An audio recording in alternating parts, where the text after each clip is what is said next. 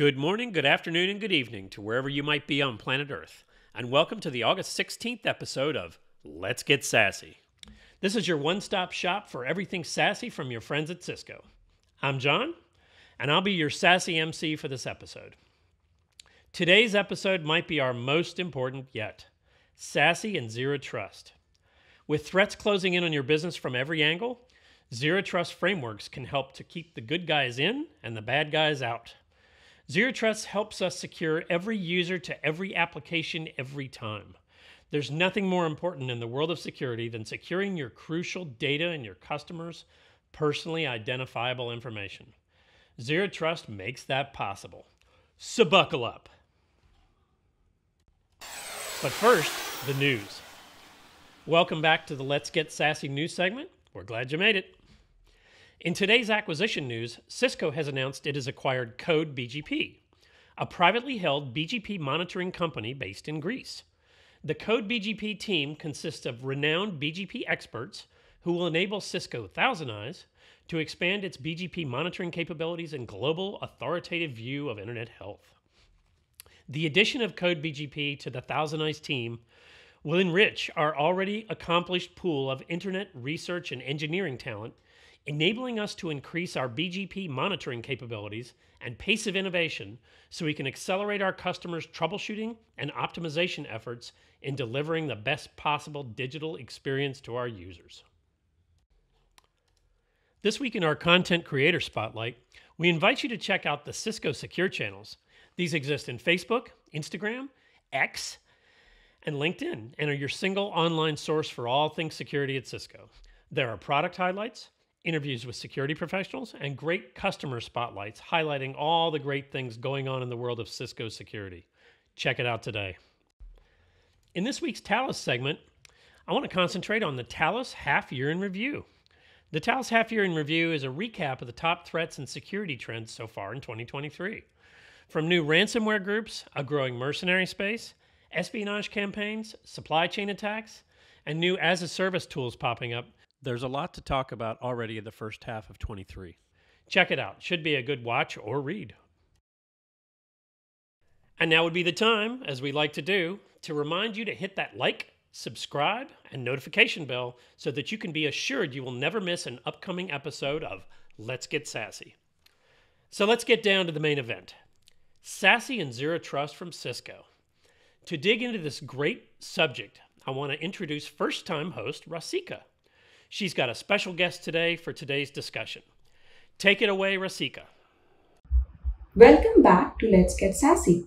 I'm your host, Rasika Chaudhary, and today we are going to dive into one of the most important and revolutionary concept in cybersecurity, which is zero trust.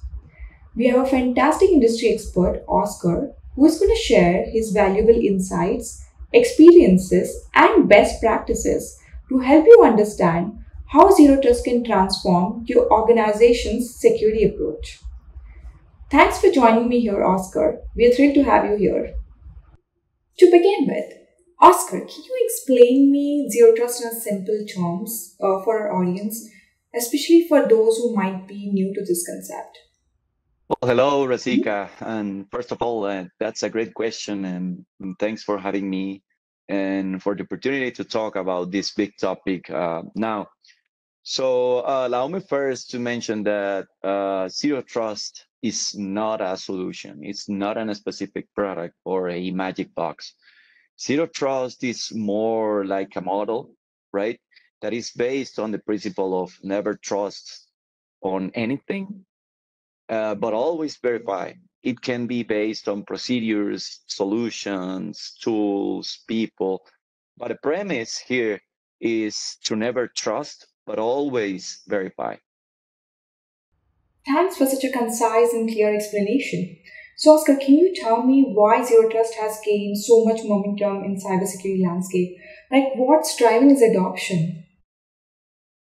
Well, uh, considering that the threat landscape and the attack surfaces of, of the organizations are increasing due to the adoption of strategies like cloud computing, hybrid work, and others, I will say that the challenge to apply zero trust on them is keeping the organizations looking for new ways to protect their assets and their individuals.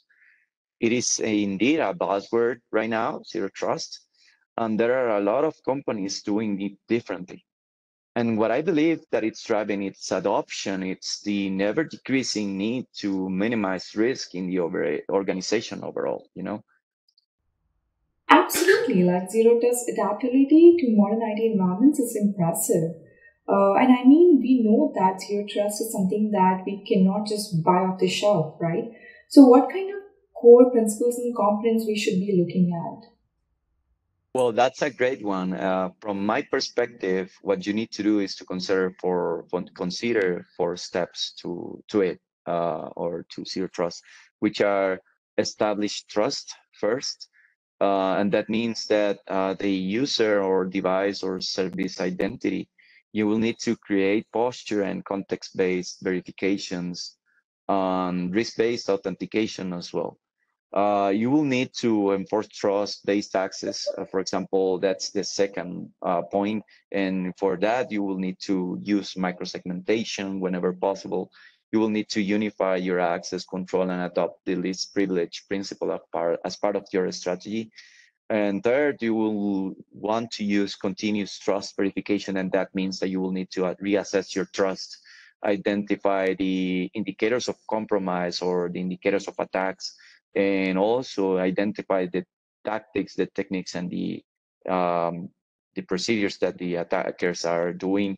Uh, use shared signals between products and people. That's that's very important. Leverage threat intelligence tools, for example, or or sources.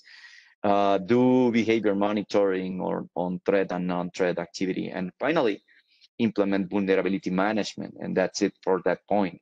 And finally, uh, to complete the four-step procedure, we will need to respond to changes in trust. Okay, so once uh, something is identified that it's deviating the the behavior uh, that of what we consider trust, then we will need to prioritize. For example, when it's the incident response, orchestrate the remediation, and and use uh, integrated plus open workflows. Right.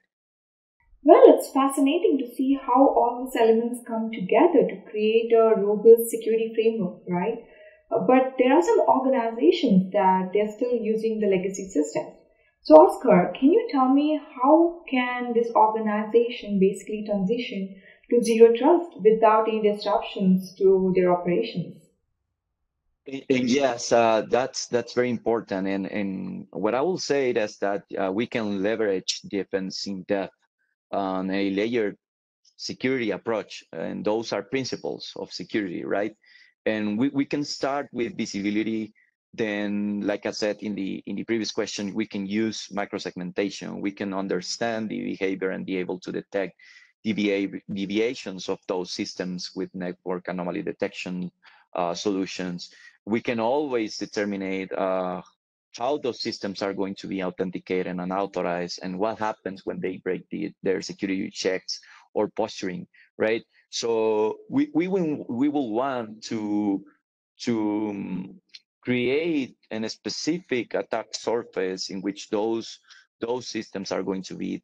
And, and in that specific surface, we will position tools, procedures, and elements that are going to be uh, kept in there so that we can uh, protect and create a zero trust model around those legacy systems.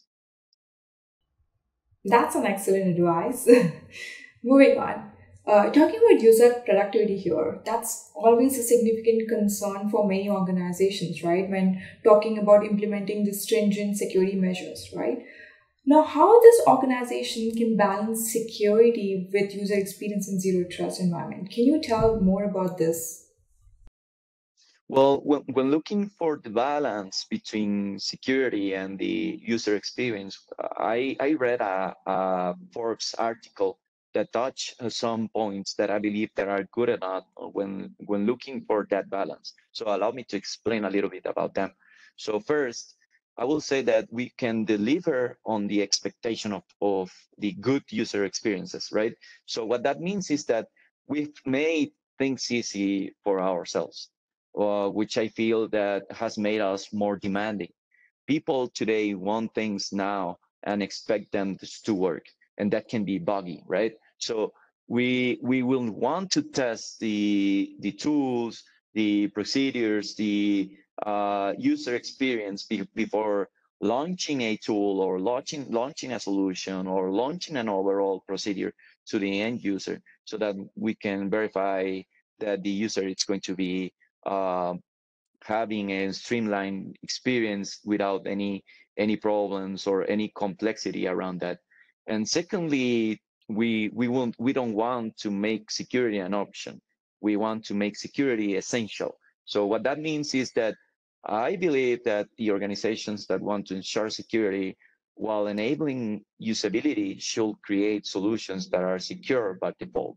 So, for example, we want to make sure that the systems are designed for security within them rather than bolting onto them and have encryption automatically turn it on, right? So we, we want to leverage all the possible uh, characteristics of the the design that we can uh, use inside the building of the solutions instead of uh, tying something external into the uh, system.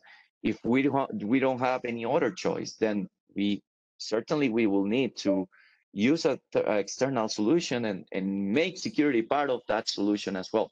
But we want to first leverage uh, the security by design instead of uh, using a third-party solution.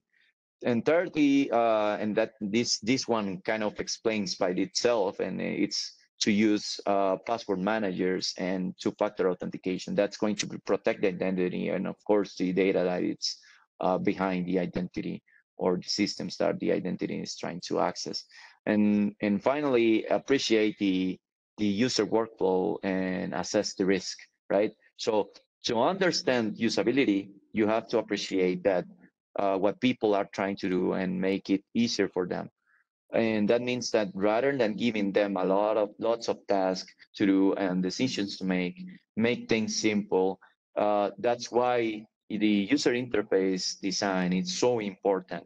Uh, it's it's not only uh, related to the administrator uh, user interface, but also the end user uh, experience overall and how that user is feeling the complexity of the tools that they will need to use and enable and, and follow uh, so that they can be able to do their stuff and their task every day.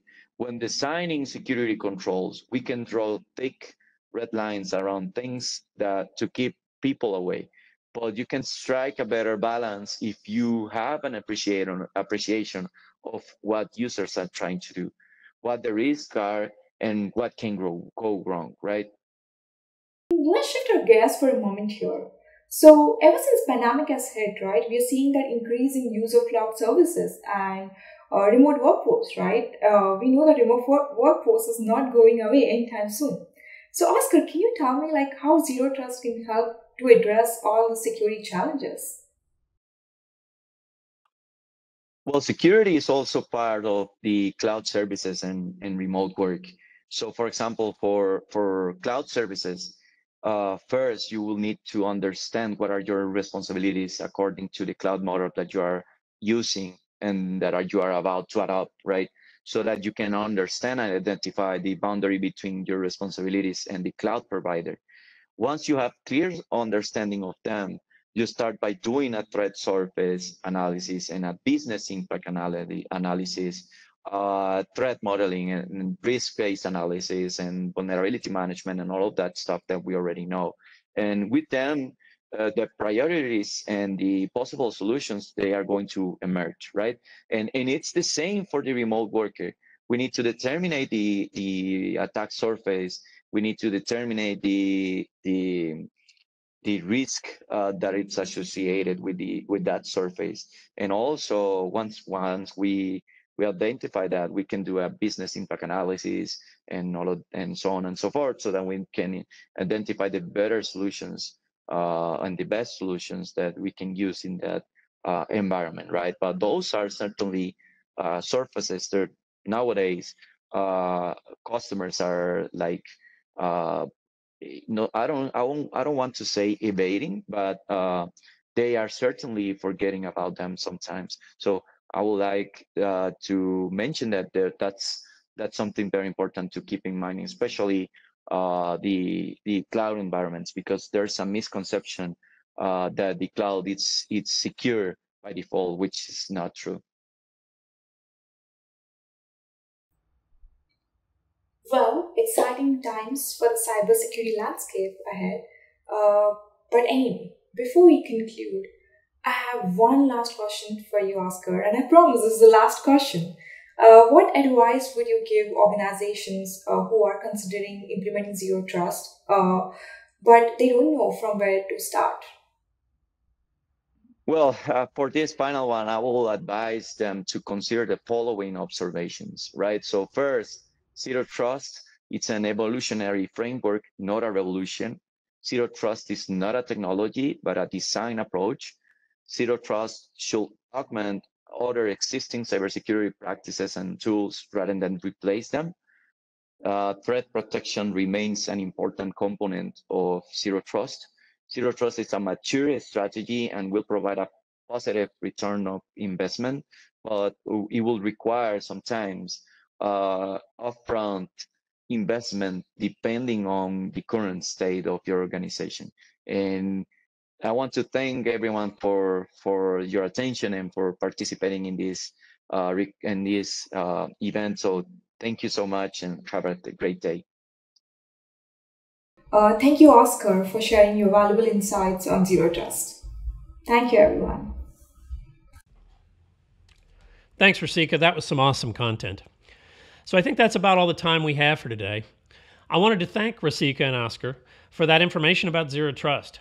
As a security professional and business owner, there's nothing more important than protecting your users, and Zero Trust gives you the ability to do just that. A SASE architecture with a Zero Trust framework is a great way to accomplish your security goals. If you have any questions about how Cisco can help you achieve your Zero Trust goals in a SASE architecture, reach out to your Cisco sales team.